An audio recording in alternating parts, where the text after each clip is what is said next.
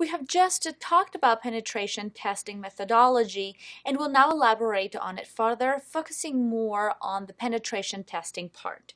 When you try to penetrate into a system or network, if you are not successful, what would you do? Hmm. Be happy. There you go. You're happy that you couldn't find any vulnerability. But don't stop there. Think like a hacker. Try to carry out a denial of service attack. If you are successful, you have a reason to alert your management. It is possible to be in IT and be happy. Mm-hmm. Uh, if you are able to penetrate, what should you do? Well, try the following.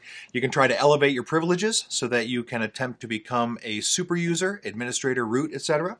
If you are successful, you have found a dangerous vulnerability. Good for you. Next, try to copy or alter data. Try to erase the audit trail of your activities. Log out without being noticed so that you can come back again. And if you are successful in doing these things, the purpose of penetration testing really is meaningfully fulfilled as you have unearthed some vulnerabilities, and that's that's success. Yes, that is. All right, so we hope you understand the penetration testing methodology. Let's now move on to attack vectors. Attack vectors are a way and means to hack into a target computer, obviously with malicious intent.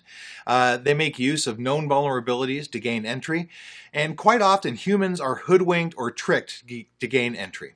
So viruses are always uh, another way to enter into the system. They can carry payload. Uh, a worm does the same thing. Uh, for example, carries a, a, virus as a payload. Trojan horses are a case of payloads. So are spyware, dialers, hijackers. The list really just keeps going on. Goes on. Attack vectors can be classified into three major areas: network attacks, host OS attacks, and application attacks. Sniffing, ARP poisoning, MITM, spoofing, denial of service, and distributed denial of service are some of the network attacks. Mm-hmm.